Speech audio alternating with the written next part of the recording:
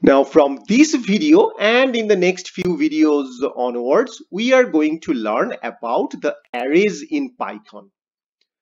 Arrays are very very common concept in all the programming language which we normally use to store multiple data item under the same name.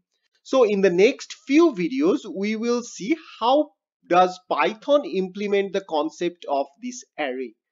At the same time, we will learn different type of implementation of Python array like list, tuple and sets and how are they different from each other in terms of syntax or in terms of different types of features or something like that.